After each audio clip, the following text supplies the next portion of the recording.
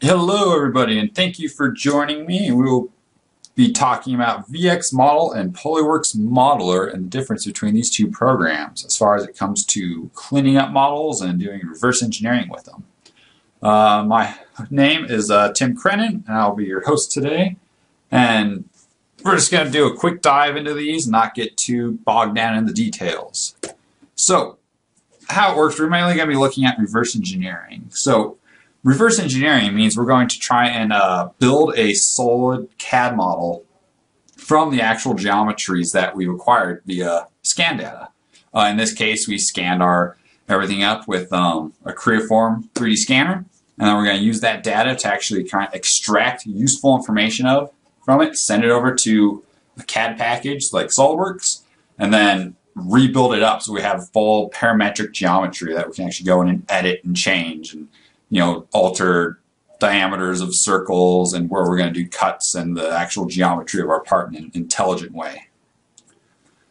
So when you have something scanned in, you end up with a uh, mesh. You're going to have a 3D mesh. It's basically a point cloud that we joined all the points together to make an actual surface. And then from there, depending on what type of scanner you have, you have more or less uh, back-end work to do to actually clean up this uh, mesh to make it a very nice, smooth geometry that can actually extract useful data from easily. Uh, worse scanners, crappier scanners out there, will just be more of this uh, back end work to get to a point where we can even start extracting data from it usefully. We'll show you how we can do that within VX Model and Polyworks Modeler, and how we can go in and we can patch holes for uh, missing sections of data where we can interpret our own geometry there. We can clean up the mesh. So if it's uh, has a bumpy surface or it didn't have enough data to normalize, it'll be rough looking. We can smooth it out. We can decimate the mesh, make it lighter weight. We can make it watertight. Uh, we can merge multiple meshes together. Uh, we do lots of things to make actually working with the part much easier. Uh, we can also take multiple scan data and align them together within the software to get a much larger geometry to work with. So, for instance, in this car example, if you wanted to scan an entire car, it's going to be a lot of data. It's going to be a lot of points that we're going to be taking off it with a good 3D scanner. So instead of doing that all in one scan session, which could be take a long time, or most computers just aren't powerful enough to deal with all that in one go, we can scan it in multiple sections and then line them up and do a best fit to align these all together.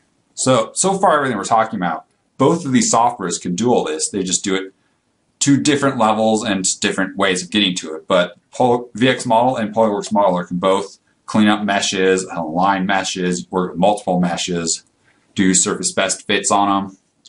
Uh, we can also generate NURB surfaces and uh, geometric, you know, entities that we can actually extract from this mesh data too. And that ranges from 2D geometry for just a flat plane, a circle, to 3D entities like cylinders and cones and actual surf, surface data. So we can actually auto surface, make NURB surfaces, and make a whole uh, pat, bunch of patches of data that we can actually then apply to the uh, model. And all of this we can actually send over to uh, our SolidWorks software and have it come in as useful data. So we'll be bringing over planes and cylinders and circles, and cross sections, and surface data as those actual features on sketches on their own planes has their own surface data. So it actually gives us something useful to work with. As far as transferring the uh, data over, so depending on which software you're using, uh, with VX Model, it's extremely easy. There's actually built into the software where we can, uh, once we generated and extracted our entities, we can send those directly to SolidWorks just via one button click, and it'll package it up, send it over, or on either software, on Polyworks or VX model, we can save them out as IGES or step files. And that has the actual kind of CAD data in it that we're extracting. And that can be used to open back up in SolidWorks or any other CAD package and have the actual useful data to work with. So in this picture, is kind of an example of a, uh, a surface data that we've extracted. So to get a little bit more specifics, as far as VX Elements goes, uh, that's kind of the uh, you know, parent software of VX Model. So VX Model is within inside VX Elements. And this works directly with the Creaform 3 scanners. Uh, you can do inspections with it, and you can also do this VX Model reverse engineering with it. And when we're, uh, if we use the software, it actually generates the file goes straight to an STL mesh on the fly, and we don't have to deal with point clouds at all, which makes life very easy. So VX model, we can you know edit uh, the mesh, patches, smooth it up, create entities, extract useful data from it, directly send it over to SOLIDWORKS with the API, or send it over separately as IGES or step files. So we're going to go ahead and jump into that. We can take a look at what VX model looks like. And it looks like this. So it's a very clean, uh, user-friendly interface, which is nice. It's not overly complicated. It's very easy to pick up. Uh, it's very intuitive, so you can see what's going on. So here's a uh, scan of a part I already brought in. So we scanned it with the Creaform scanner, and then I brought it into VX model. And that's all we've done to it so far. So we can do all kinds of things in here, like patch up holes and extract data. So if we want to patch up holes, we can take a look at the hole patch wizard. Let me go ahead and just make a hole in here real quick. Just delete that data. So we can see that it's, you know, we have a hole through a part. So I can go ahead and grab my hole wizard. And the hole wizard in this program, also SolidWorks, is very powerful. Or I can just click a hole and it'll patch it right on over. And we have some control over how it's patching it. So we can either do the whole hole at once, partial patch, a bridge across if we don't want to do the whole area. Uh, we can say if we want it to be curvature based, flat, or adaptive, how many layers in of triangles it's going to look for interpreting those curve data and all that. And we can go and just start patching up our holes that way. Uh, we can also defeature parts, smooth out the mesh, you know, clean it up however we might see fit here. Uh, if we wanted to defeature something, so if I didn't want this rib to be here, I can just go in and grab this section and go ahead and tell it to defeature and it'll go ahead and uh, delete that out and interpret its own surface around it. So it's really easy to start working with and cleaning up and you know we can smooth our mesh and decimate triangles or refine it and things like that. Uh, we can also clean up the whole mesh. So if we after you scan something you might have a bunch of little overlapping triangles and spikes that we can't see from this but will make extracting data harder. So we can see over on the left here, we show, oh, it has a bunch of spikes and small holes and singular vertices and stuff that could cause problems later on. So let's go ahead and tell the uh, program to clean that up for us. And it's going to go and try and eliminate that from our model. We won't see any visual difference because it's all very small things that are causing these issues. And then it's done. Everything mostly goes to zero. And we're good to go to move on start extracting some data. So now to actually extract data to send over to SOLIDWORKS, we have a bunch of entities over here we can add in. So we can use these along with these selection tools over on the right to easily select bunches of triangles and have it apply an entity to that selection. So right now I'm on plane select and it defaults over to similar normals and I can go ahead and grab a series of uh, these triangles on here and it's going to grab everything with a similar normal based on I can adjust the tolerance and then it's going to best fit a plane to that and we can even see the over on the left here a, a breakdown of the error distribution of these triangles that's selected for how much they're out of deviation on that. So 99% are within plus or minus 0.1 millimeters. That's pretty good. We'll go ahead and hit create and we can start creating uh, entities like this. I can grab the outside here and we just go through and start creating planes and data. We put them wherever we might need to. Uh, once we have that, we can go through and start, we can grab some different data. So if we want to grab some cylinder data or cones, so I can say, hey, there's a cone inside of here, and grab that, and it's going to best fit a cone onto the inside. And again, our error distribution is very accurate. It's a very uh, pretty good scan we have here. And you know, I can grab the outside of the cone.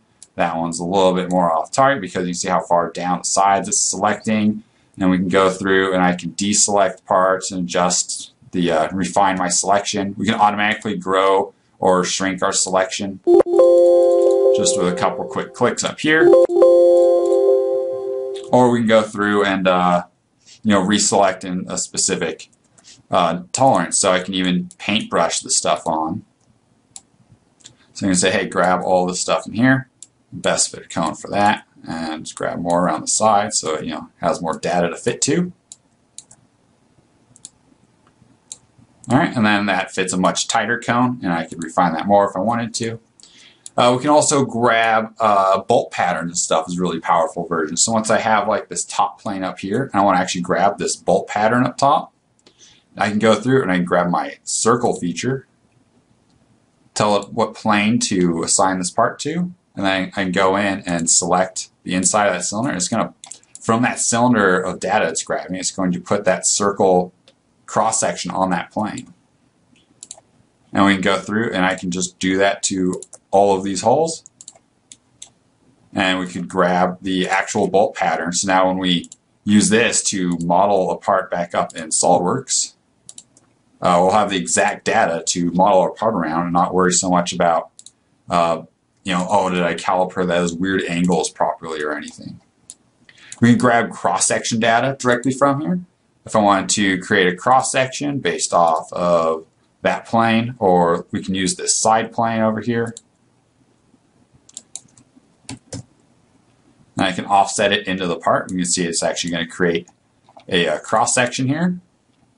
And if I expand out my entities over here, this is all the entities I've been creating are in this list. For the cross section, we have all that data going across. We can create much more cross sections depending on what you want to do with it. If I wanted to cross section this entire part and get, you know, not 140, but maybe 14 cross sections or 10. Let's see how long it takes to generate 140 cross sections. And basically it's going to slice up our part like a loaf of bread all the way down it. And then we could take those and bring those over directly into SOLIDWORKS and we could just do a bunch of loft operations or something across these and rebuild up our whole part.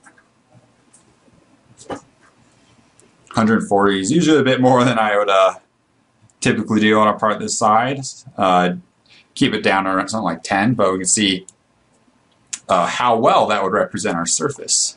Uh, let's drop that back down to 10, get something a little bit uh, quicker to transfer back over to SOLIDWORKS. So let's create that. Now I have a whole bunch of cross sections. We can even go in and create uh, NURB surface data in here very easily. So I can go grab my auto surface and we can go in and let's just grab a chunk of this weird curved stuff over here. Drop the number of patches it's going to make just so it generates a little bit quicker for us. And it's going to fit the surface with a whole bunch of square patches that each have, uh, right now we have it set to eight control points, and it's going to be a very close approximation of this surface. Now you kind of see all the uh, square patches it's built on here laid right on top of the part. So I'm going to leave that out right now for transferring over because that takes bit more processing power. But if we see in SOLIDWORKS I have open here in the background, uh, we have nothing on this. This is a blank part file and it's just sitting here waiting for us to send some data over to it. So with all of these features selected from VX Model, I can go over here to the top middle and click Transfer to SOLIDWORKS. And we'll go ahead and transfer all of this data directly over to SOLIDWORKS for us. And it, you know, takes a minute. And reason I'm not transferring the surfaces because it takes a little bit longer. It's harder for it to transfer over a bunch of NURB surface data than, say, sketches with uh, drawings on them. But now, here it is. It popped up on the screen. Uh, here's our SOLIDWORKS part. So here's the cross-section data. Here's the planes I created. Here's the bolt pattern on top that are constrained to a plane. You see they come over to our feature manager has actual circles features, actual cross sections. We have actual cones from the cone data extracted. And we could even add design intent to this where I could give constraints to the cone saying, oh, be perpendicular to this plane axis when I was creating them uh, adjusting their diameters and things like that to be, you know, something that be have more intelligence to it than whatever we just scanned, basically. So, and with all this data, we can use this to actually go in and start extracting data, creating data. If I wanted to, you know, go in and analyze one of these, I can edit that sketch. It comes over as an actual spline. That's just fixed in space. We could sketch our own spline over the top of it and use this all kind of like as a uh, design template to build our part up. So that is a super quick overview of VX Model. So now we also have the Polyworks software. Uh, one of the main differences between the Polyworks software and VX Model is that Polyworks works with almost every scanning solution out there where you're acquiring mesh data, you're, you're acquiring point cloud data, you're getting uh, just points, laser trackers, it works with CMM machines. Polyworks works with almost all data that you can acquire out there. And it's kind of like VX Elements, where this is like the parent software, and within that we have Polyworks Inspector and Polyworks Modeler. So with Polyworks Modeler, uh, this does basically the same stuff that VX Model is doing, except you get even more control and more precise control over every little aspect of it. Um, with that, it makes it a more complicated software to actually use. Uh, there's a lot more things you can adjust and change on there, but you know you can do all that for a specific reason. So depending what you actually need out of it, if VX Elements was all you needed to do, or in VX Model, then that's all you have to worry about. But if you need a lot more control and you want more precise patch it, NURB patch surfaces created, more precise cross sections, more precise hole patching, then this would be more of the direction to go. So here's the same thing. This is the Polyworks Modeler software. Uh, I imported the exact same um, mesh data.